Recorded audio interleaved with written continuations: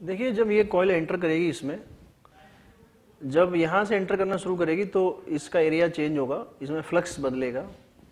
और जब ये पूरी कॉयल इसके अंदर होगी, यहाँ तक, कुछ पार्ट इसका पीछे भी रहा होगा, इस टाइम तक फ्लक्स चेंज होगा। मींस इस पॉइंट से लेके इस पॉइंट तक। तो इतने में इसको टाइम लगेगा ए बाई वी फिर ये वापस निकलना शुरू करेगी। जब ये निकलना शुरू करेगी तो इधर से निकलेगी और इधर से इसके अंदर आएगी तो कोई चेंज नहीं आएगा फ्लक्स में। और उसके बाद जब ये निकलना शुरू करेगी then again flux will change so again for a same time flux will change so total time is 2a by v this is the answer